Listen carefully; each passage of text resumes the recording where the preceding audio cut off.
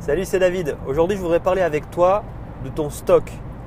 Alors, si tu as du stock, évidemment, si tu n'as pas de stock, euh, euh, je pense que c'est même pas la peine de, regarder cette vidéo. Enfin, si, en fait, parce que de toute façon, à un moment donné, en tant qu'artiste, tu vas, euh, tu, vas stocker quoi. Tu, vas, puisque tu vas produire. Il faut imaginer que tout ce que tu vas produire ne va pas forcément se vendre, et puis même euh, bah, toi, tu n'auras peut-être pas forcément envie de mettre, euh, de mettre tout en vente parce que c'est juste peut-être pas le moment pour toi, en tout cas pas le moment pour cette œuvre d'être euh, d'être vendue ou d'être d'être mise en avant tout simplement. Et bah, je voudrais te parler de ce que tu peux faire avec ton stock qui dort.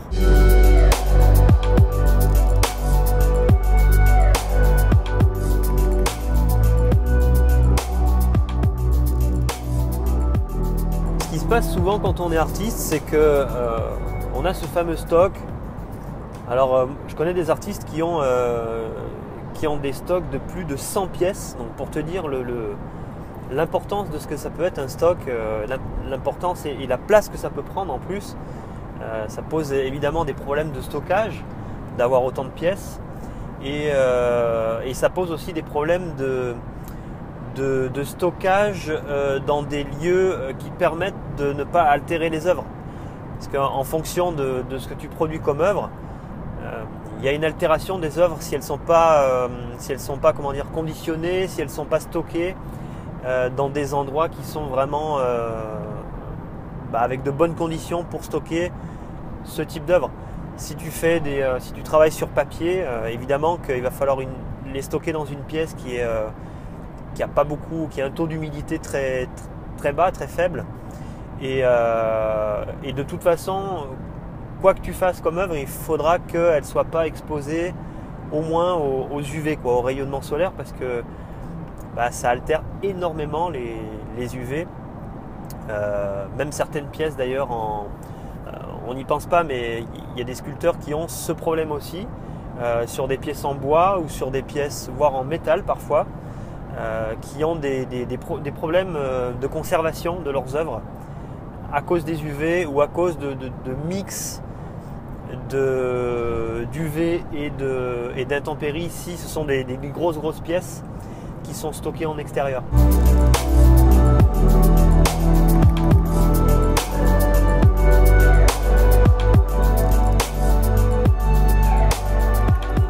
Et alors moi j'ai plein d'artistes qui me demandent mais euh, ouais qu'est-ce que je peux faire de mon stock quoi? Franchement euh, ça dort depuis des mois voire depuis des années pour certains. Ça s'accumule hein, quand je te parle de voilà d'artistes qui ont euh, qui ont plus de 100 pièces dans leur dans leur stock. D'ailleurs ça me fait penser à un truc. J'ai vu il y, a, il y, a, quelques mois une, une, entreprise une boîte française qui a qui a lancé un un concept en fait où elle récupère les, enfin elle se propose de vendre les stocks invendus des artistes euh, à des prix, euh, des prix sacrifiés en fait. Alors l'initiative elle est, elle est pas mal. Euh, moi je déconseille de vendre tes œuvres au rabais, tes œuvres invendues ou ton stock au rabais parce que bah en fait franchement je vois pas pourquoi tu vendrais tes œuvres alors cette boîte là, alors sans, euh, les dénigrer, hein, ils ont voilà, c'est ils ont trouvé ce filon-là, un business, il y a une réelle demande des, euh, artistes euh, qui, galèrent vraiment pour, pour vendre leur stock-là, enfin en tout cas qui savent pas quoi en faire. Bah, si tu sais pas quoi en faire, je vais t'expliquer justement comment, tu peux, comment tu peux te servir de ce stock-là qui dort.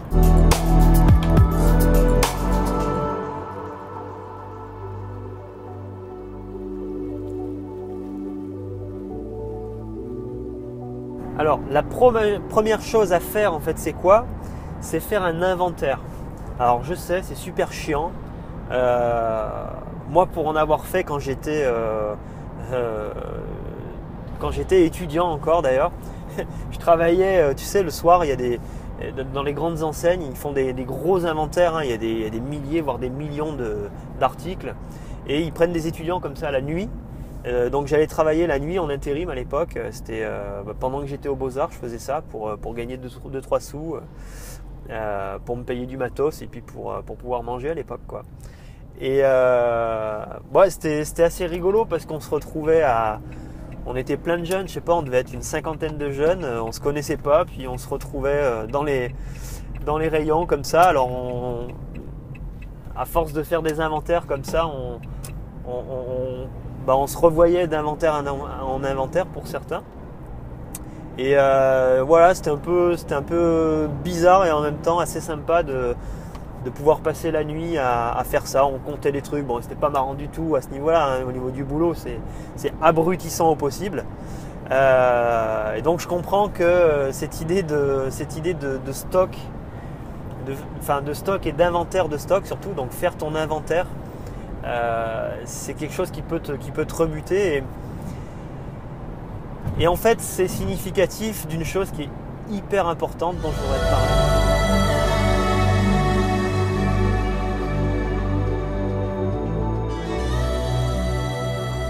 En fait, c'est pas pour rien que tu as ce stock qui dort et c'est pas pour rien que, euh, que tu t'en occupes pas.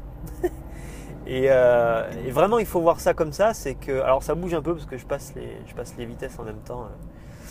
Euh, en fait, ce stock il dort parce que euh, tout simplement tu bah, t'as pas envie de les voir ces œuvres-là. T'as pas envie de les voir. Alors souvent elles sont mises dans les ateliers, dans des endroits, euh, c'est vraiment mis de côté, on n'y a pas vraiment accès, ça prend la poussière. Alors bon, il y en a qui mettent des, bâches par-dessus ou des voilà pour pas que ça prenne trop trop la poussière et que ça s'abîme.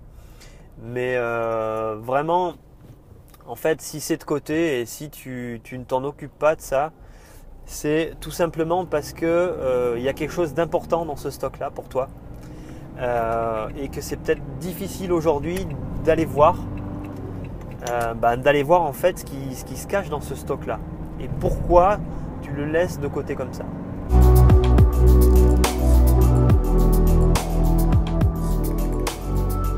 Alors qu'est-ce que me disent les, artistes que j'accompagne et avec qui on travaille justement sur ce stock? Euh, bah, ils me disent soit euh, euh, en fait d'aller ressortir ces toiles, ça me rappelle des périodes difficiles pour moi. ou alors ça me rappelle un événement difficile, par exemple un vernissage qui s'est super mal passé ou une expo qui a rien donné. Mais en fait, faut savoir que si une expo ne donne rien, si tu ne vends pas, c'est pas à cause de tes œuvres directement et c'est pas à cause de toi non plus. C'est soit à cause de, tes, de tes, comportements euh, déjà à cause de ta sélection, si ta sélection n'est pas bonne, c'est clair que euh, c'est clair que ça se vendra pas. Euh, et, l'idée c'est qu'on peut aller faire une sélection à l'intérieur de ce stock là, même si effectivement, comme la plupart des artistes, ben, ce qu'il y a dans tes stocks, c'est soit des pièces que tu n'aimes pas trop, soit des pièces que tu, pensais qu'elles n'étaient pas, pas vraiment à la hauteur, elles sont pas à la hauteur en fait. Pour toi, elles valent pas grand chose peut-être. Euh, mais en tout cas, si tu les as gardées, c'est pas qu'elles valent pas grand chose, justement. Et c'est ça qu'il faut voir.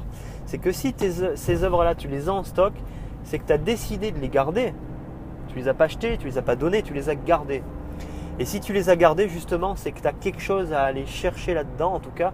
C'est comme si tu mettais un peu, tu vois, quelque chose de côté, un peu dans ton cerveau, et on peut faire le lien hein, entre euh, la réalité de, l'atelier et euh, la structuration de ton cerveau et voir que vraiment, euh, en fait, tu les as mises de côté parce que tu as besoin de d'exploiter en fait ce qu'il y a, ce qu'il y a dans, dans ce stock-là, dans ces œuvres.